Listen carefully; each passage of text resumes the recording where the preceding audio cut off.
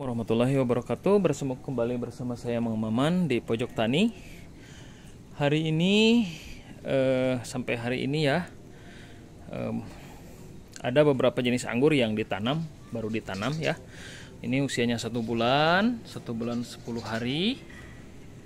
Ini juga sama dan ini baru eh, empat hari setelah tanam ya. Nah eh, ingin berbagi eh, pengalaman ya, berbagi pengalaman. Bagaimana sih cara pemupukan anggur di awal eh, proses pertumbuhan gitu ya, di awal tanam, setelah tanam seperti apa pemupukannya. Nah, mungkin untuk para pengangguran ya, untuk para pengangguran yang baru terjun di dunia pengangguran yang eh, baru meraba-raba bagaimana cara merawat anggur gitu ya eh, pola pemupukan salah satunya yang memang yang punya peranan dalam eh, membuat si pohon anggur itu subur. Nah, jadi kita harus tahu eh, pola pemupukannya seperti apa. Jadi teman-teman bisa coba sendiri atau teman-teman bisa eksperimen, bisa coba-coba dari eh, pengalaman pengalaman petani anggur yang lainnya juga sama gitu ya. Saya pun sama mencoba beberapa kali dan akhirnya menemukan e, dosis yang tepat. E, bagaimana pemupukan am, e, anggur di awal pertumbuhannya. Nah, oke okay, ini anggur 4 hari. Nah, anggur ini kalau usia 4 hari saya pribadi belum berani memupuknya ya. Jadi e, ini belum dipupuk sama sekali karena baru 4 hari tanam. Kemudian ini usianya ada satu bulan ini baru tiga kali dipupuk ya satu bulan 10 hari. Ini baru tiga kali dipupuk. Nah jadi eh, seperti apa pemupukannya nah ingat ketika kita menanam anggur maka yang harus disediakan adalah media tanam yang bagus ya. Di sini saya tidak akan bahas seperti apa media tanamnya namun di media tanam tersebut dipastikan kaya akan unsur hara organik dan kaya mikroba baik, kaya fungisida alami gitu ya. Eh, banyak campurannya gitu ya. Jadi di awal pertumbuhan apalagi di awal tanam itu belum ada pemupukan gitu. Jadi ketika tanam itu belum ada pemupukan.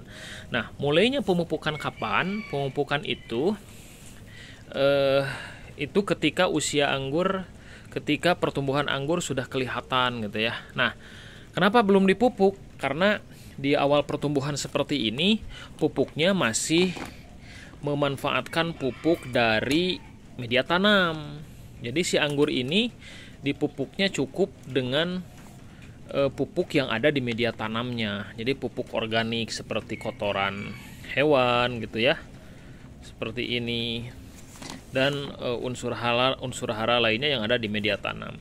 Nah, pemupukan pupuk kimia gitu ya baru dimulai pada saat usia anggur e, dua minggu atau tiga minggu atau satu bulan dua minggu sampai satu bulan itu awal pemupukan pertama tergantung e, perkembangan dari pohon anggurnya jadi di minggu pertama saya tidak kenalkan pupuk di minggu kedua pun sama baru di minggu ketiga atau setelah satu bulan baru dikenalkan pupuk. Nah terus pupuk apa yang digunakan untuk masa pertumbuhan seperti ini?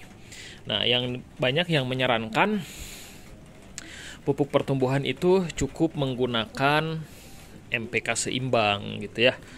NPK seimbang walaupun pada masa pertumbuhan sebenarnya yang paling banyak dibutuhkan itu adalah unsur nitrogen. Tetapi dengan NPK seimbang walaupun N, unsur P, unsur K-nya sama, nitrogennya tetap dominan. Kenapa? Karena nitrogennya diambil dari media tanam oleh e, tumbuhan gitu ya. Jadi di usia di usia pertumbuhan seperti ini pupuk yang digunakan adalah pupuk e, NPK seimbang. Nah, mengenai dosisnya, nah dosisnya jangan terlalu boros pupuk. Karena e, walaupun kita berkeyakinan dengan banyak pupuk anggur membesar boleh jadi sebaliknya gitu ya. Kadang-kadang dengan pupuk terlalu banyak justru e, pupuk kimia terlalu banyak ya justru bisa membuat e, si tanaman anggur overdosis. Akhirnya e, bisa e, tewas gitu ya. Jadi dosisnya yang cocok dosisnya berapa gitu ya. Nah kalau saya pribadi setelah mencoba e, berbagai eh, apa dosis pemupukan yang dibagikan oleh para petani anggur, saya lebih lebih cocoknya dengan dosis pupuk eh, setengah gram per liter air. Jadi dosis pupuknya setengah gram per liter air. Kalau pakai sendok ya, satu sendok itu 10 gram berarti per 20 liter air. Atau kalau ingin 10 liter air berarti setengah sendok. Ya. Kalau punya timbangan ya bisa ditimbang saja. Pokoknya perbandingannya setengah gram per liter air.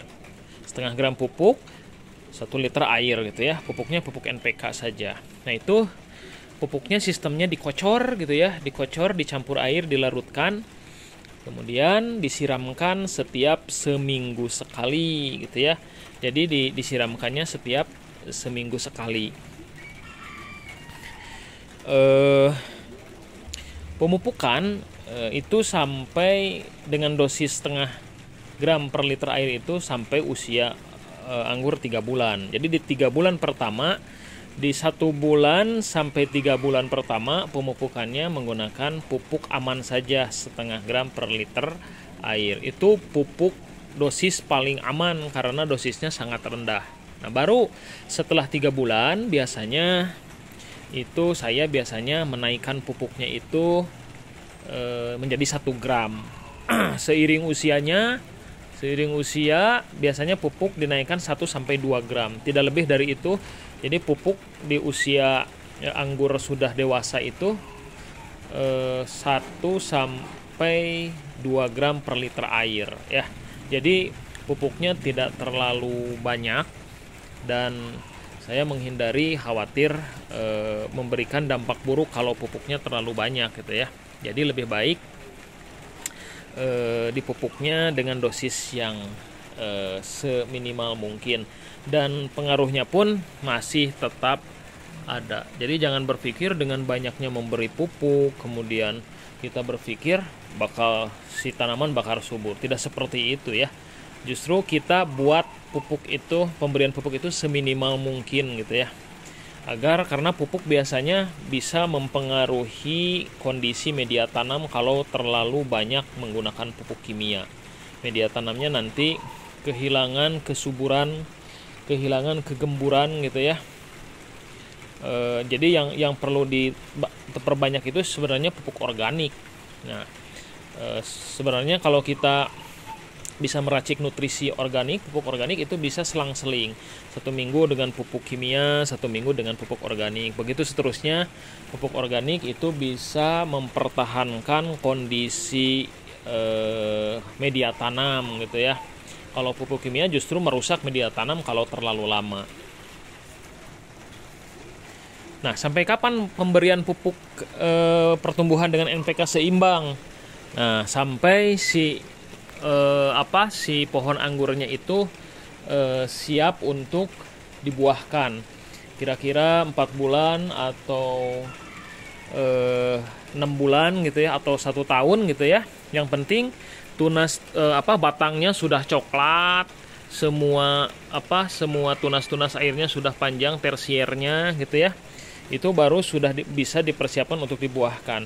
Nah baru ketika eh, pohon sudah siap untuk dibuahkan, pemupukan untuk eh, apa pertumbuhan dengan NPK seimbang itu dihentikan diganti dengan pupuk pembuahan. Barangkali nanti di channel berikutnya akan saya bahas eh, pupuk pembuahannya, pupuk apa saja yang digunakan. Eh, untuk video hari ini mudah-mudahan eh, apa yang saya share bermanfaat untuk teman-teman. Terima kasih. Salam hijau, salam pengangguran.